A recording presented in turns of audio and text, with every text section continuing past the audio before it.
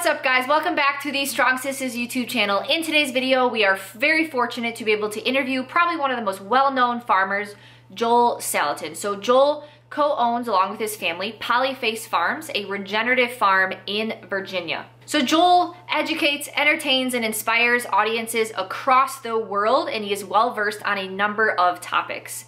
Joel has published 12 books, including Pastured Poultry Profits and Salad Bar Beef. Joel is also the editor of The Stockman Grass Farmer, a magazine dedicated to the art and science of making a profit on grass-based agriculture. So Joel is commonly on the road speaking, inspiring, educating others. However, for this interview, we caught him when he was back at Polyface Farms, which is in a rural town in Virginia. I'm sure many of you all are aware the service is not always the greatest in small rural towns. One of the beauties of rural America, so the audio and video quality is not the greatest in this video. He commonly freezes for the video, however, we fixed up the audio and we are really excited to share this conversation with you all, so I really hope you guys enjoy. I really apologize for the technology difficulties to get started, um, but I really appreciate your time uh, coming on our channel. We value yeah. your content and your message very much. Mm-hmm. Yes, I am a big fan of one of the first books I read regarding like farming was Folks This Ain't Normal, and ever since then I realized that I am just too influenced by everything in this world and that I really needed to change my ways. So that was a big influence for us getting out here and getting some property of our own and starting what we're trying to start. Yeah, we are uh, two girls that grew up in the burbs. That's yes. for sure. Very cool. Very cool. Okay, so as like a starting question okay. for our listeners who may not be familiar, who is Joel Salatin? Yeah. Okay. So I, I am a I'm a Christian libertarian environmentalist capitalist lunatic farmer. I love it. That's great. Okay. You have certainly been like inspiring for us, like she said, to kind of get away from where our like roots were in the suburbs, grocery store, like not really doing any hands-on like farm or land work into a rural town and we are experiencing the difficulties and some challenges of rural town America right now with technology. Um, but before getting into like kind of a bigger picture question, I need you to help us set the scene real quick. So if you can chat a little bit about how the conventional meat system works so, for example, like how we get from farms to the meat packages, for example, at Walmart. So, what the kind of average American doesn't really understand how we get from these smaller farms to these kind of less expensive, cheaper meat at like Walmart stores. So, the conventional beef system. So, so the first thing is to realize that eat stuff. I mean, like they, they eat stuff, and so where does that food come from? So that food is produced on farms. Most of it is corn and soybeans. Mm-hmm. But corn and soybeans need to eat something too. And so where does that food come from? Well, generally it comes from chemical fertilizers. So you have so you have chemical fertilizers made from petroleum that worms and uh, mycorrhizae in the soil food web to grow the crops to feed the animals that are in confinement houses, large factory, you know, uh, confinement houses uh, that are the size of a, of a football field, two two football fields even. Thousands and thousands of animals crammed in here, eating grains that have been raised on chemical fertilizers in soil that's been deadened by, by the chemicals. And then those animals then go into uh, when they're finally uh, finished. They uh, um, and of course the while they're being raised in these confinement facilities, of course they're breathing in you know fecal particulate air. They're uh, emotionally as stressed like you would be if you lived in a uh, in a football football stadium full of people all your life and uh, they they they eat out of their toilet because it's it's um, you know it's it's extremely unclean. Everything is covered with manure, with manure dust. So imagine all of your food, all of your plate, all of your air being, um, you know, uh, particulate of, of manure. All right, and um, and and so then when they're done there, then they go to great big centralized processing facilities where they are then, um, you know, uh, uh, slaughtered in, in, mass, you know, just in mass, uh, parted out, fabricated in those packages, then arrive on the supermarket shelf uh, for you to purchase. That's that's kind of the the, the chain of custody uh, that goes from the soil all the way to your plate. That does not sound like something that is good for would, our health and good for the animal health no. and good for the soil health and it and or that it, most people realistically would want to support. I just feel like they don't understand or want to know what's actually going on. Because um, if you take your average person and you told them that, and then you said that that's what you're buying in the store, like our mom, for example, I don't think she would want to continue. Um, but the only way they're going to see that is if they watch like one of those propaganda films that paints like all the entire meat industry as negative like that when re- in reality there is a better solution. So with with like the current conventional beef system there's like those four or five centralized meat companies like JBS, and then for in the pork industry like Smithfield and Tyson, and these are largely foreign owned and operated, and they these large four or five companies um, process like 80 to 90 percent of the meat in our country, and so after COVID, well, where do you see this meat industry headed? Yeah, well, I, I don't see I don't see any uh, change is in the offing, I think it's going to continue to. I mean, the, the industry as we know it, um, and and you're exactly correct. Foreign owned, uh, you know, eighty to ninety percent of all of the uh, meat it, it, comes through those four uh, big big outfits, um, two of which are foreign owned. I don't see that changing at all. Uh, I mean, except to just continue to get more, you know, to, to use more sterilizers, more antimicrobials, uh, irradiation, you know, more techniques to try to to uh, whatever compensate for for filth, for filth.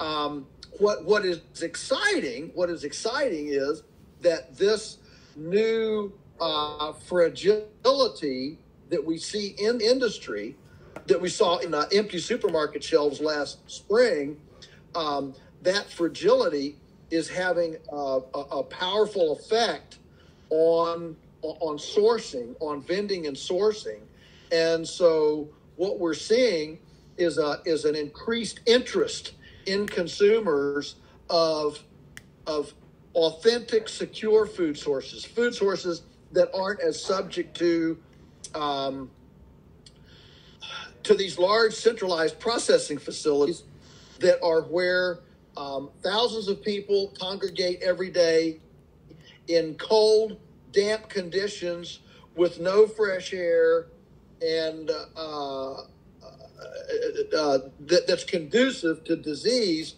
Whereas in a small uh, local slaughterhouse with you know 15 to, to 30 people working in it, um, there there there's a there's a completely different pathogen, a different pathogen environment, and uh, and these facilities have largely been immune immune to the uh, the fragilities of large centralized processors.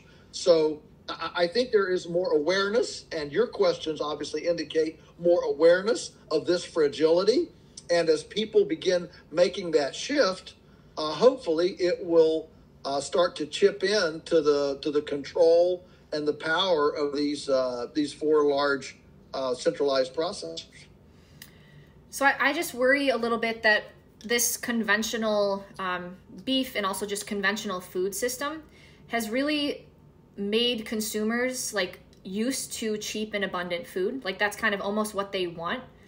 And so I view it to be a little bit challenging for small regenerative farms, for example, to offer these uh, food products at a higher price. So in this type of environment where you have these large meat producers and then you also have these group of consumers who are used to cheap food how do small farmers better position themselves for the future in this type of environment well welcome to the world of marketing and messaging and so we consistently explain to our to our people um, not only the nutritional benefits uh, of our of our food. I mean, for example, for example, our beef uh, carries 300 percent more riboflavin than than uh, feedlot, you know, uh, conventional beef. Uh, uh, one of our eggs, one of, uh, for example, um, if you test the nutrition of one of our eggs, uh, the the USDA, you know, regular label is uh, like 48 micrograms of folic acid per egg, which is really important for pregnant women. Folic acid is a really important uh, um, nutrient for, for pregnant women. Um, and and uh, our eggs, our eggs, instead of being just 48 micrograms per egg, our eggs averaged 1,000, 1,038 micrograms per egg. So, so the fact is that that we just have to quality, nutrition quality, the ecological benefits, uh, the carbon, all the things surrounding the industrial food system.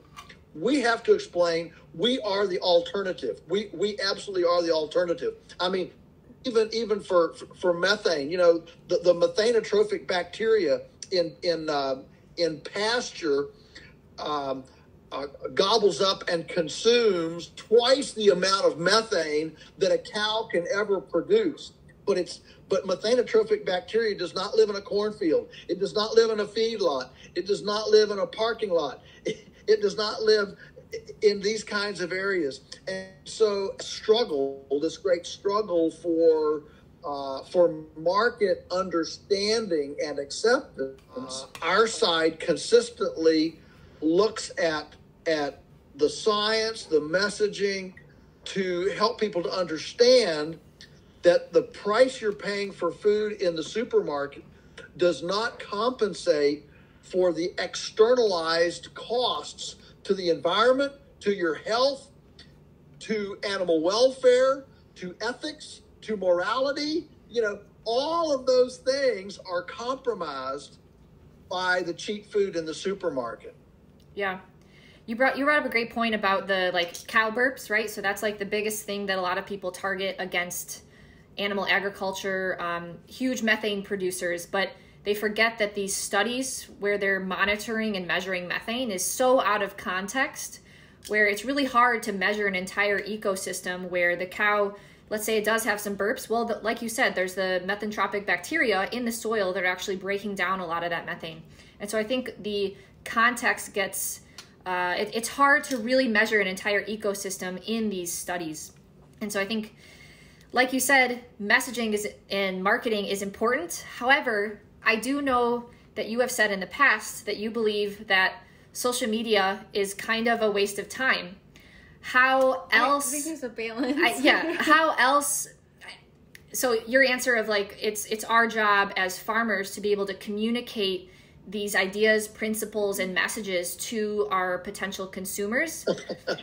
I just like the next generation right. is mm. growing up on social media. Like it's just ingrained and it's part of who they are. And so I think that's part of the problem though. Yeah. One the of fact that we're growing up on social media and then we're influenced by everything we see. But in order to be successful in this type of environment, I think that a farmer needs to recognize that. And that's our, role. That how do we fix this? so so Joel, eh, honestly, one of our biggest goals is to help educate um, the next generation in yeah. these type of matters but we yes. personally I we personally get distracted with social media. Um, we are outside filming our chickens, like eating compost, and it's like that probably wasn't the right. best use of our time. So if you were to give advice to a um, mm. small farmer about how to best use social media and not waste time, what would what advice would you give him or her? As as you know, there are there are definitely um, uh, different types of social media.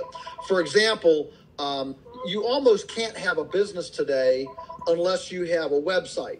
Right. So, you know, we, we don't generally consider website as social media, but it very much is. A website is, is an, elect- an electronic doorway into your persona, your message, and your business. And so, um, uh, so our Polyface, our Polyface website, polyfacefarms.com, um, is a window into. I mean, we have there our value system, we have there our our, our uh, principles of belief, uh, of course, how you buy product, how you can visit the farm. You know, all the stuff about us is on that website. So that is a part of social media. Um, as far as Facebook and Instagram, and and I don't even know all the. I'm not on any of that stuff. I don't even have a smartphone. But but um, but you know, we do have an Instagram and Facebook account, which we put on, you know, pretty pictures of chickens and cows, and and, and, and we, we tell we, we tell some stuff. But I can tell you here at our farm what we know, what we know that really uh, gets people converted, if you will, converted, um, is that if we can get them to either see it or taste it, and preferably both.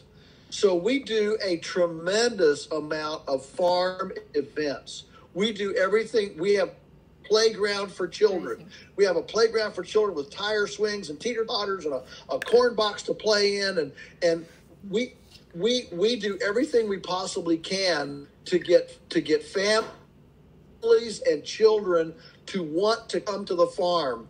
Uh, we want we want to act a child's uh, we'd rather have children want to come here and go to Disney uh, because we're real. We're real. Believe it, it, it, it's real. They can come here. They can touch the animals. They can pick up a, again. They can pick a, a, a tomato, um, and, and, and, it's real. And so uh, so we do a lot. To we do events. We do farm tours. We do hayride tours uh, we do a lot of things to try to get people, you know, out to the farm uh, in order to see it, taste it, smell it, connect to it. Right. Finding that connection is so important. And I feel like you're just talking about a real experience. So going out to the farm and meeting the animals, getting and, good bacteria. Yeah. Um, on the flip side of that, we have the new fake experience of meat, like the Beyond Meat and the 3D printed meat. And it seems like the plant based agenda while we are talking about the downsides of social media, they've really taken over social media. And so they far more effectively and efficiently get their message out than I would say regenerative farmers, unfortunately. Although you, Ashley, and myself probably live in this corner of the internet where all we see is like, oh, grass fed meat, go to the farm, buy from your local farmer. That's just like what we choose to um, to engage, engage with. However, most people are not seeing that. So, what is your advice, I guess, for somebody who is so inundated with this plant based agenda that that's all they see. They don't even understand that there is this other alternative for farming on the side that is better for their family's health. So, how do you have that discussion to yeah, how do you have that discussion for somebody to understand? And then also, what do you just think about that in general? The whole 3D printed meat thing going on about like no it's more too... meat in 2032 or something. Yeah. Well, first of all, first of all, um, you two, you two need to have um, um, 100 million followers. And if you two had 100 million followers, we, we would have we would have a different world. Okay, um, so I, mean the, the, question is valid. It, it, it's a profound question because it's it's a it's a question that doesn't it doesn't just speak to food. It's to truth. How do you how how does a person make a choice? How does a person make a choice to to embrace truth? And and and the fact is that civil you, humans have been faced with this conundrum forever. I mean, who who believed who believed that the world was round when everybody thought it was flat? Who believed that that that women should vote when nobody thought women should vote? who believed that slavery was wrong when everybody thought slavery was okay? You know what I mean? You, yeah. you can go down your you can go down your list of things, and so to, so here we are today. Today we're in the same.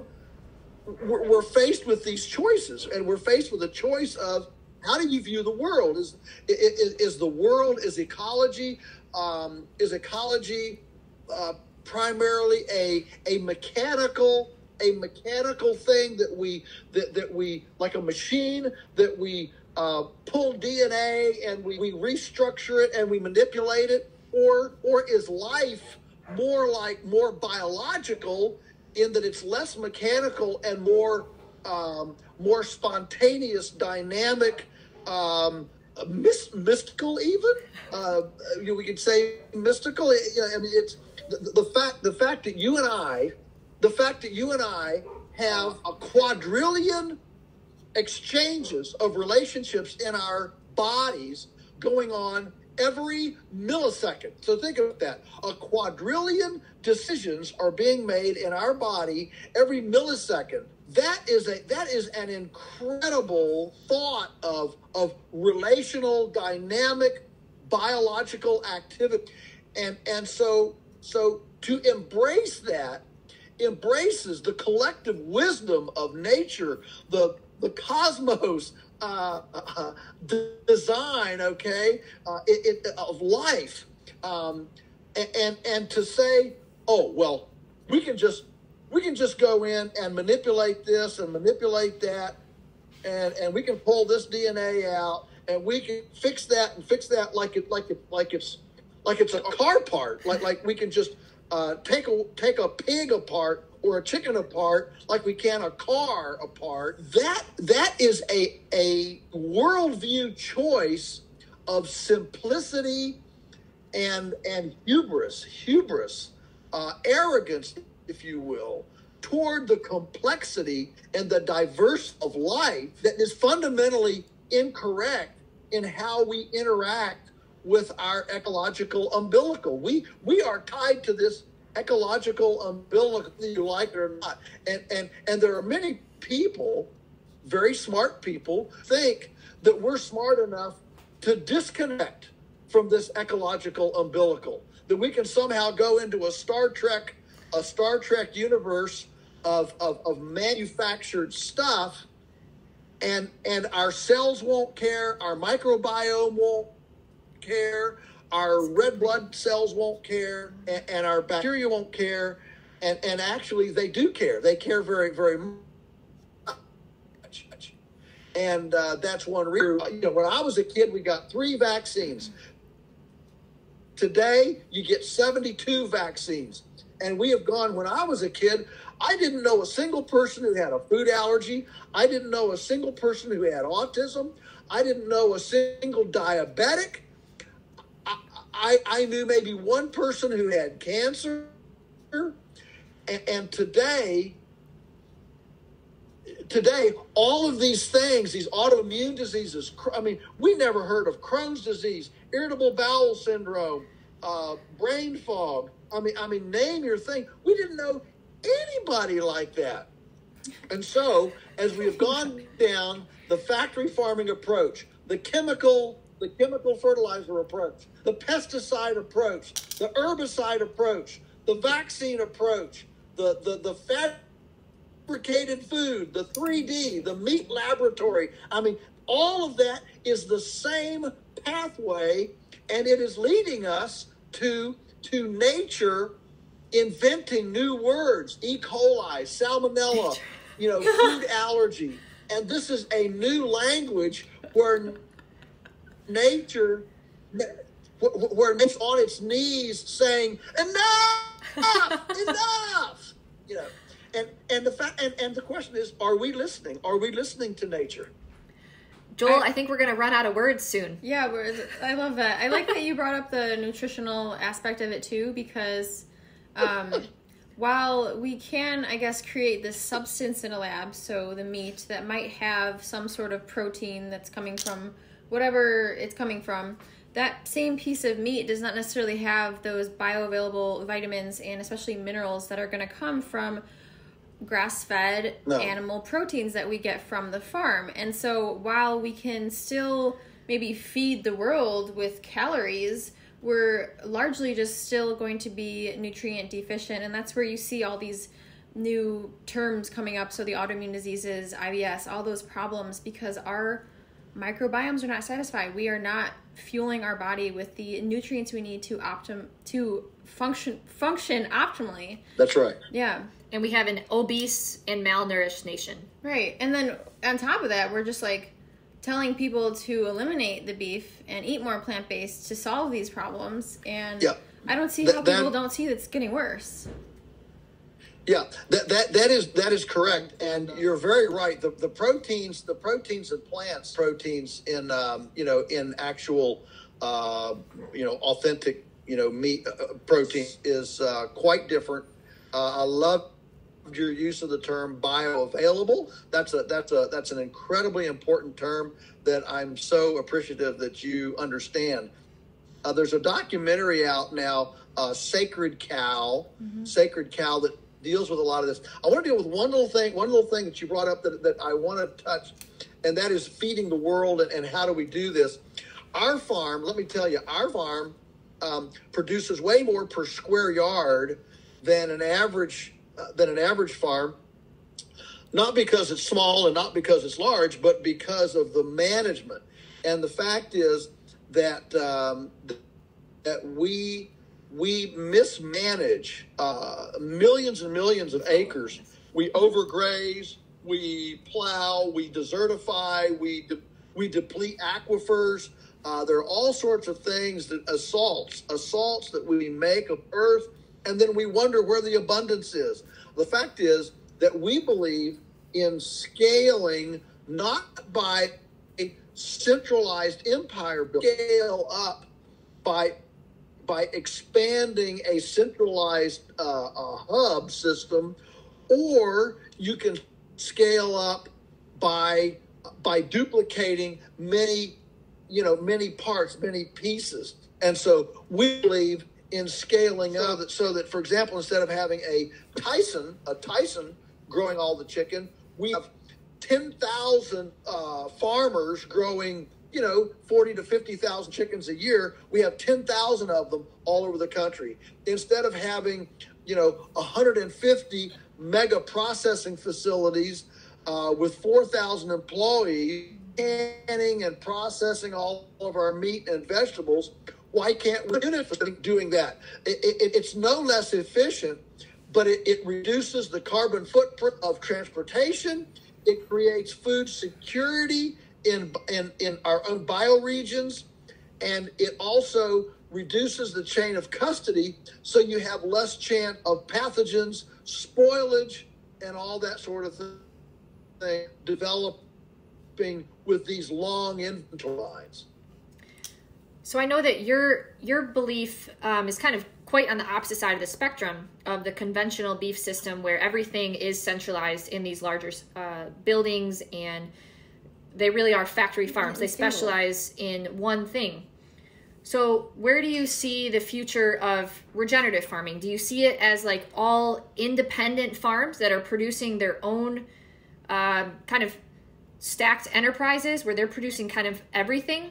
Or more of like partnership styles where, for example, one farm can do like beef and chicken, and then the other farm farm can do like lamb and honey and things like that. And they're more of like partnerships where some farmers who may not be interested in the marketing side could get help from other farmers.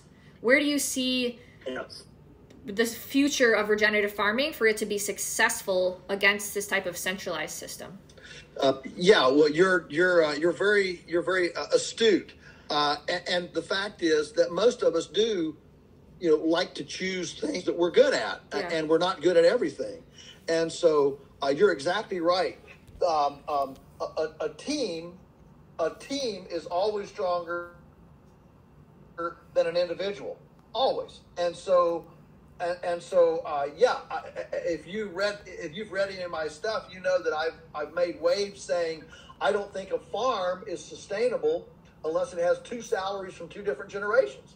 Um, you know, you, have got to have some sort of a, of a successional uh, plan there, and and you're right. Generally, the marketer is not the farmer. Farmers tend to they don't like people generally. You know, they they they'd rather uh, have a relationship with their tractor than their you know than their spouse, and so. Um, and, and, so having a diversified uh, uh, having a diversified team is always better. So yes, I think that the successful ecological high production farms of the future are going to be team oriented, not just individual, whether you call that cooperative, a team, uh, a collaborative, I don't care. But, um, by themselves as they are with somebody who who they team up with, you know, where you have strengths and weaknesses to be handled by you know people with talents and abilities. Uh, teams are always stronger than individuals. Absolutely. Yes. Yeah. Um, okay, so going back a little bit on what you were saying, where there's these big moments in human history where people used to think the Earth was flat, and and things like that. Um, and it sounds like we're kind of at this really critical point in history where you've got this huge plant-based agenda. I'm honestly really concerned about the the cultured meat because it actually is like animal cells that they're growing into meat, so it's not made out of plant protein and things like that. A little bit concerned on the amount of investment money going into the into those. Um, it's also a little bit concerning that Bill Gates is now the largest land farmland owner in the United States with over 240,000 acres. And so what is he doing with that I don't I I'm not sure. Um it, we all know that he's very much plant-based because he has uh, invested in impossible foods and beyond meat and things like that. So we really are at this like really important point in history and I think sometimes this is overwhelming for people. They see this as such a huge issue, like big ag, big food, climate change. Like these are all very large topics and I'm just one individual, so like what could my actions do? Like do I really have an impact? What is your biggest advice for both consumers and farmers as to how they can actually play a role and their everyday actions are important for these type of issues? Mm.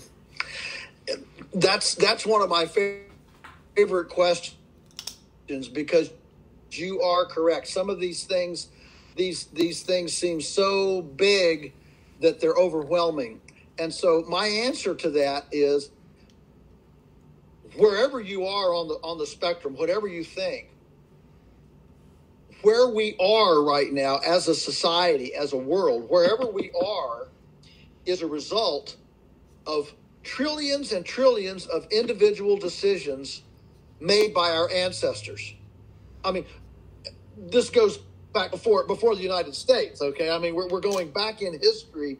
Um, that that that where we are is in time is a physical manifestation, a culmination of trillions of centuries of individual decisions, uh, whether to tree or not, whether to uh, to graze this plant or not, whether to have a cow or not, whether to eat this or not. I mean, all those decisions. And so, so if, if we assume that, then we have to assume that tomorrow's world, tomorrow's world, the world that, that you and I are creating today for our grandchildren, that world will also be a physical manifestation of the culmination of billions of decisions, individual decisions that are made between now and then. And so it truly is a composite of these decisions. So you and I, that's why on our uh, one of our little monikers on our um, on our little insulator bags that we give our customers, our little moniker is um, healing the land one bite at a time. That's our little slogan: healing the land one bite at a time. Because we we want to connect the bite I'm I'm eating this, and we want to connect that what I'm eating has a direct effect on on the on the entire landscape. Our entire our entire womb, our entire nest is is is is dependent on res, on responsible bites, bite-sized things. So there's a lot of you know uh, uh, metaphors there, and so um, I speak to power. I speak to your power, to the individual power of someone. And let me just say this about the farmers there are a lot of farmers like us who are desperate for 10 more customers. You know, there are many farmers who are, are trying to make a living on their the good good farmers. I'm not talking about the bad farmers. I'm saying the good farmers they're trying to make a, li- a, living on their land. Many of them are, are off jobs to try to earn enough so they can stay on their farm. And they're, they're desperate for, for 10 customers, 12 customers, if I just had 10 or 12 more who really bought into this, I quit my own job, stay home with my family, stay home on the farm, and I could do a lot better. There are thousands of those out there. And so so my my my plea, my plea is to consumers is to you have the power to shape the marketplace. The only reason McDonald's is as big as they are is because people line up to buy McDonald's. Yeah. And and and and if we if we quit lining up to buy McDonald's, there wouldn't there wouldn't be a McDonald's. And so the marketplace always responds to demand of the marketplace. So ultimately, the farmers are completely dependent on where the marketplace goes. And the marketplace is you, is non-farmers. You have the power and you make every time you make that that food purchase choice. And so bless you, bless you for to uh, to challenge the industrial narrative, to challenge the um, the cult, uh, the techno cult, and to appreciate that there is you know there is more to this than um, you know than just let let's get let let's let's get rid of all the cows. Yeah, um, you talking in metaphors, and you're talking about how trillions of decisions our ancestors made over time brought us to where we are today. Well, like the same thing applies to your body. Like you were saying, there's trillions of decisions going on every nanosecond and every bite we take can either make us more sick or heal our body. And we need to start thinking about what's actually going to help us heal our body. So they co both of these journeys coincide. That's actually how ashley and i got into the farming is because we went on this long health journey um, to heal our bodies from our autoimmune conditions and actually found how powerful animal nutrition is and so I guess if we want to look at it that way, a lot, a lot of our audience is also really health inclined. And so they can think about it that way. If, mm, wow. If the impact that they, the food they're eating has on their body, their decisions and the food that they're buying from the store has the same impact on our lands. I like that comparison. Just here with a comparison. Yes, you're, you're, right. If if I could cut if I could cut this screen, I would just give both of you a great big hug. uh, we, we um, you know, people people like people like me. People like me are desperate are desperate for more voices like yours to to touch our culture. I, I, don't. I mean, I'm gonna I'm gonna start to cry in a minute, but that's how that's how profound this is. This is this is not just I want market share. This isn't just I want a bigger bank. This is this is about healing. If if you don't feel well and then you you do go through a healing process, um, you know it's a it's a big thing. It, it's not just I prefer this. No, and, and and you want to let people know that you can you can heal, and that's one of the beautiful things about life. You know, versus mechanics. Uh, if if a, if a wheel bearing goes out in your car. Um, you can't just apologize to it and say nice things to it while it healed. Uh, it, it, it's not going to heal. And whether it's healing physically or emotionally through forgiveness, um, we, we do have that capacity to heal. That's the difference between life and mechanics. That's the difference. Yeah. And I think that something we can both agree on when it comes to healing your body and the land, um, there's a lot of lifestyle choices that have a huge impact on this too. And this is something that I first recognized when I read your book, um, Folks This Ain't Normal. And you were talking about all these skills that a child should acquire when they're growing up. And I'm going through this list and I'm like, man, I can't do that. I can't do that. I can't do that. So I wrote, I actually just pulled this up from last year when I read your book, What I Want My Kids to Know I want them to drive stick shift tractor, to shoot or trap to collect dead critters, pick up cow poop from yard to save in barn during winter months, how to chop down and gather wood to start a good fire, but the right wood, garden. So these are all things that, you know, we're talking about right now. And it's important for us to adopt, but it's also important for these younger generations to pass down to their children so they can acquire these skills and these priorities and morals to understand and make these trillions of decisions going into the future to actually make a substantial impact? I'm sure you all are well aware that a, I'm just going to say it, um, a, a, kind of homesteading tsunami. Um, did you catch homesteading tsunami uh, going on in our country right now? Partly because of COVID. Because if if there's one thing, I don't want to get into all the COVID narrative. I, I don't believe a lot of it, but I will tell you that that one thing that COVID has brought to us is a new um, a new desire for self reliance, for home centricity, to uh, what you know, circle the wagons, and I mean, people are baking bread. They are um, making soap. They are, you know, people. We're we're doing this stuff in the home for ourselves. Do it yourself, self reliance. There is an absolute homesteading tsunami going on as part of the urban exodus as well uh, people kind of inherently understand, you know, if something's going down, I don't want to be in the middle of a big city. There's there's something inherently protective, nurturing, and secure about having a garden, having a couple of chickens, to grow some winter food, uh, having a you know a pantry full of your own canned you know foods and and uh, uh, or whatever. You know, th- th- there's there's a lot of personal uh, confidence and affirmation. And if there's one our culture is is desperate for right now in, in these uncertain, unsteady times, uh, it is confidence and affirmation going forward that I will be able to thrive in these unsteady times. And uh, and so what you're so yeah um, these these foundational life skills of how to grow something how to fix something, how to build something.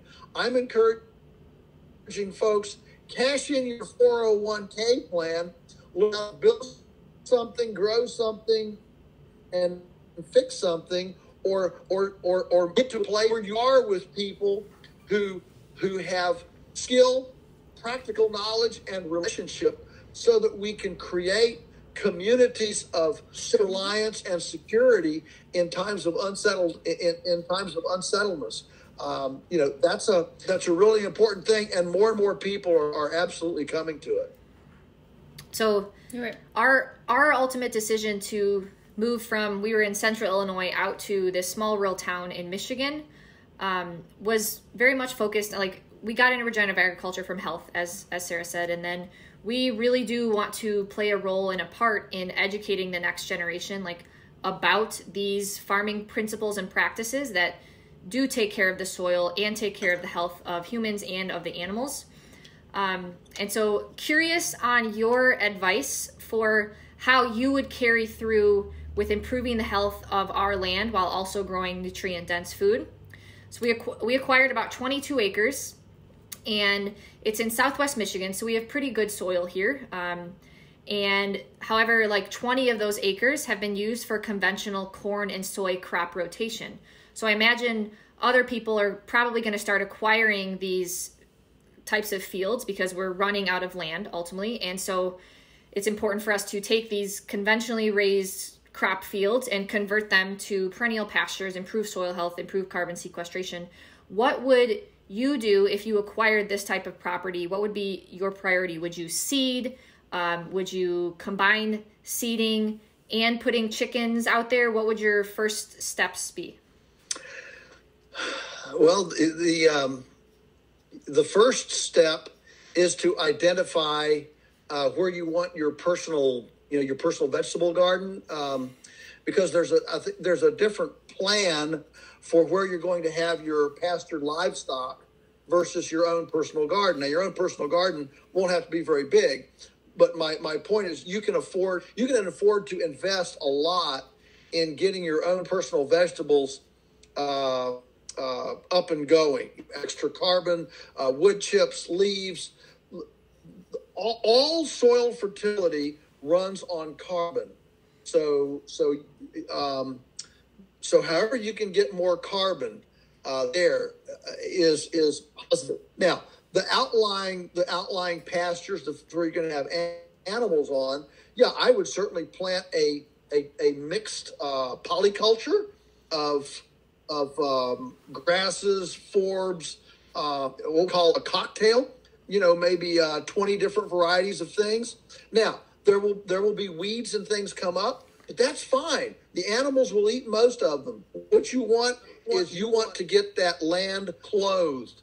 Uh, you don't want naked soil. You want that land clothed with with vegetation, with green material, and um, and, and so that'll be that would be your outlying fields, and then where your uh, where your garden is, um, that'll probably be you know some sort of beds that you really dump on some leaf chips and maybe some old junk hay. Just get carbon wherever you can to build up that garden soil as fast as you possibly can with carbon.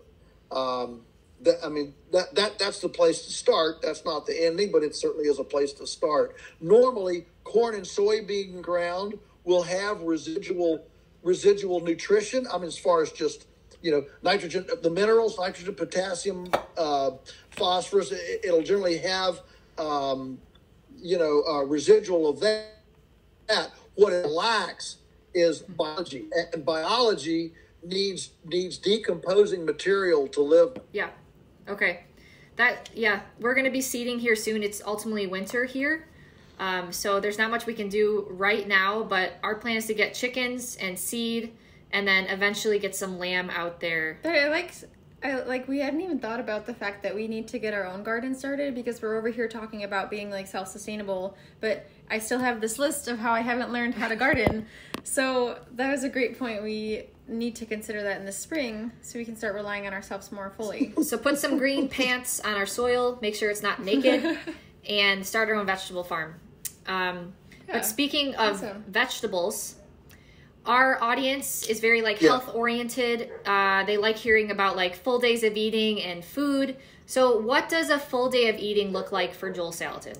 Uh, for me, okay, so full day of eating for me be um, I've always been a big breakfast guy because I've always gone out at daybreak and done you know an hour or two of chores and then I come in for breakfast. Okay, so so I'm up for an hour or two before breakfast, and so um, so my breakfast is a hearty breakfast. I mean we're talking you know raw milk, um, you know juice.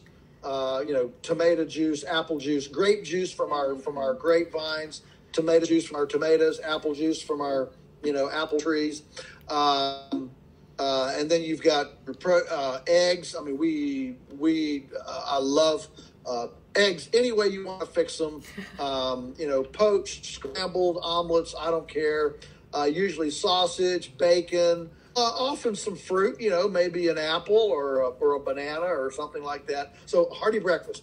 Then, then lunch um, lunch is kind of uh, uh, on the run usually. You know, just a kind of a a snacky lunch, maybe a maybe a few slices of cheese and an apple, or maybe if there's some leftover, um, you know, heat up a heat up a, a, bit of leftovers, you know, a casserole or um, uh, something like that. You know, a little bit, but but it we've never we've never fixed lunch. You know, we we we do we do a sit down breakfast and then lunch is when when when Teresa gets her break, she she takes a bit of it. When I get mine, I take it, and we just kind of on the run. And then supper is another sit down, uh, and and um, that's usually you know a couple of uh, vegetables, you know potatoes, broccoli.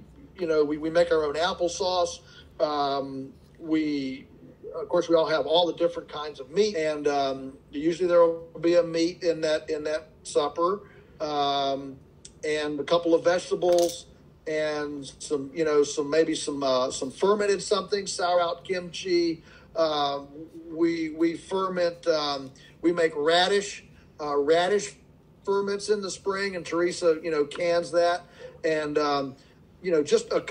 Th- those are almost eaten like condiments. You, you just a little bit of it gets you all that good bugs uh, in your you know in your body, a little bit of that you know lacto that fermented stuff, and um, so yeah, uh, we I don't I don't eat as much now as I did when I was you know your age, but um, uh, but I don't work as hard. I don't work as hard either. I do a little more brain work today. But yeah, that, that's a that's a day for us. And Teresa's a wonderful cook. And uh, the only thing the only thing I make are omelets. you know, uh, I'll, I'll, make omelets for breakfast. But uh, other than that, um, I, am pretty I'm, I'm, pretty dependent on whatever. I, I always say I only cook two times in my life. I cooked for nine months. Most women get that immediately. Men say, "What?" So uh, uh, we have two kids. Two times in my life, I cooked for nine months. Oh gosh. well, Teresa takes care of you, so she deserved those 18 months of relaxing and breakfast in bed, maybe. Yes. Well, that's honestly that sounds delicious. Absolutely. It sounds pretty similar Absolutely. to how we we, we yeah. eat. I would right. say. Well, nice. Yeah, I'm trying to eat like you, so. All right. Well, we have taken up a lot of your time. Uh, we really appreciate you hopping on the call. Um, and looking forward to posting this interview. I think it was a great discussion. So, yeah. Yeah. Thank you so much. Thank Joel. you so much, Joel. And if you're open to it in the future, we'd love to come come visit your farm. Thank um, you. Do it. Do an in person interview, and then also just kind of experience Polyface firsthand. Yeah, uh, share it with our social media. Yeah, for sure we got a lot to do to catch up to the plant based movement, Joel. A lot to do.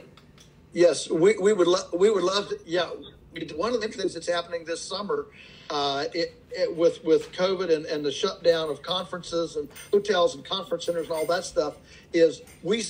But but organizations still want to get together, and so uh, watch our website. We are actually uh, planning to host about six uh, gathering. We're calling it gatherings, and it'll be everywhere from Weston A. Price uh, peak, peak prosperity. Uh, um, and uh, so you, you, maybe you can coincide your visit with one of those, catch one of those gatherings. And um, uh, they're limited to 300 people, but uh, we're seeing a lot of interest in, in out in the fresh air and, uh, and, and to meet those those emotional, social needs of people to still get together, hug, and love each other uh, in a time when it seems like things are so uh, anti anti human.